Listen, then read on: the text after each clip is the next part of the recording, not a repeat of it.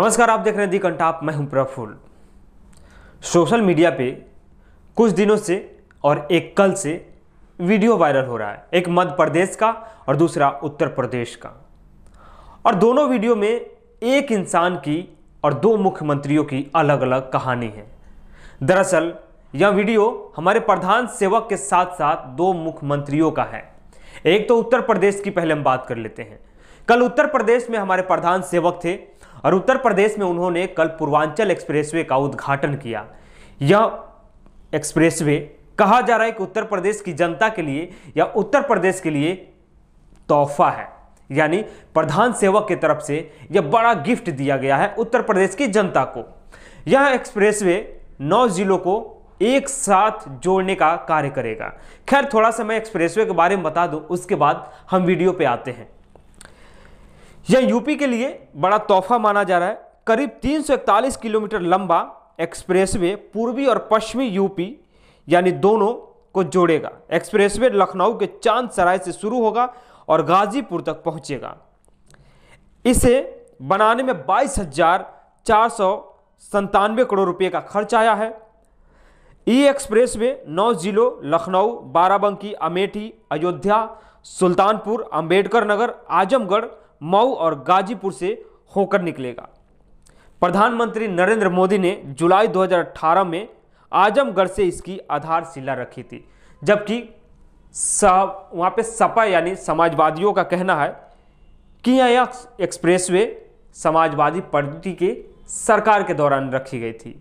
अभी प्रधान सेवक सिर्फ़ फीता काटे हैं। खैर, हम मेन मुद्दे पे आते हैं, हमारा जो वीडियो है, उस पर आटते हैं। वीडियो में आपको हम दिखा रहे हैं स्क्रीन पर चल रही वीडियो आप देख रहे हैं कि हमारे प्रधान सेवक का काफिला है एक्सप्रेसवे पे। और उसके पीछे भगवा कपड़ा पहने, गेरुआ कपड़ा पहने उत्तर प्रदेश के मुख्यमंत्री योगी आदित्यनाथ हैं।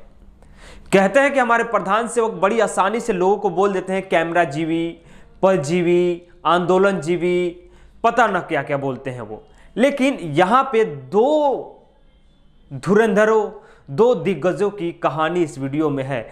दरअसल, दो राष्ट्र निर्माताओं, दो हिंदू हृदय सम्राटों की कहानी इस वीडियो में है कि एक हिंदू हृदय सम्राट पीछे पीछे गाड़ी के लिए चल रहा है और दूसरा हिंदू हृदय सम्राट राष्ट्र निर्माता, आधुनिक भारत का भाग्य विधाता यानी हमारे देश के प्रधान सेवक, गाड़ी में चल रहे हैं।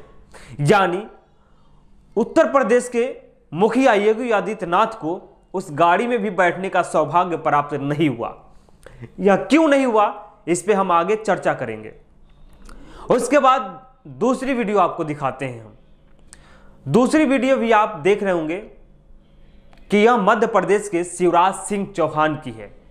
मध्य प्रदेश के मुख्यमंत्री हैं, संवैधानिक पोस्ट पर बैठे हुए हैं। और हमारे प्रधान सेवक मध्य प्रदेश पहुँचे थे और शिवराज सिंह उनके साथ कदम से कदम मिलाकर चलने की कोशिश कर रहे हैं। तब तक उनको बीच में ही रोक दिया जाता है कि नहीं, पीछे आइए।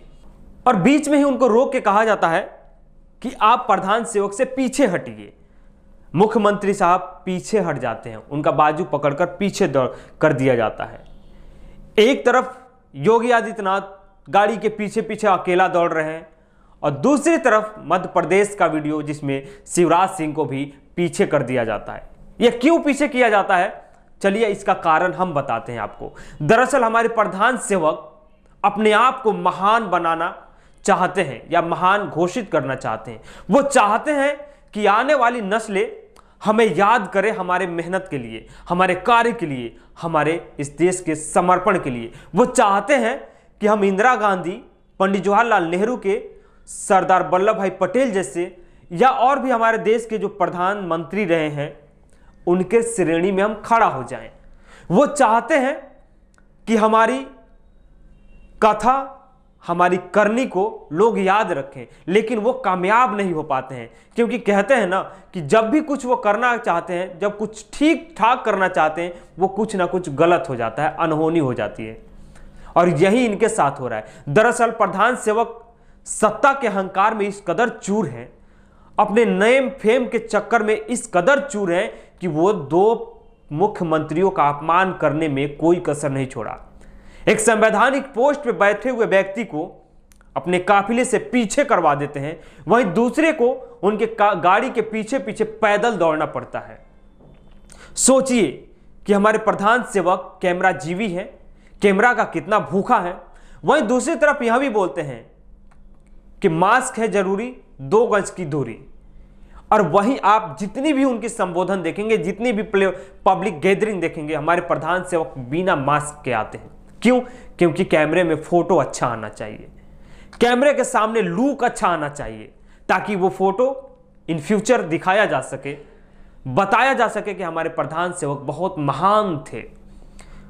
वो चाहते हैं कि हम पंडित जवाहरलाल नेहरू की तरह अमर हो जाएँ।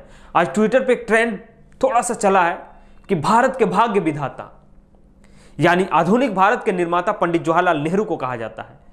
वही काम हमारे प्रधान सेवक करना चाहते हैं। लेकिन इस सब में, इस अहंकार में वो भूल जा रहे हैं कि संवैधानिक पोस्ट पे बैठे दो व्यक्तियों की गरिमा का हनन कर रहे हैं हम।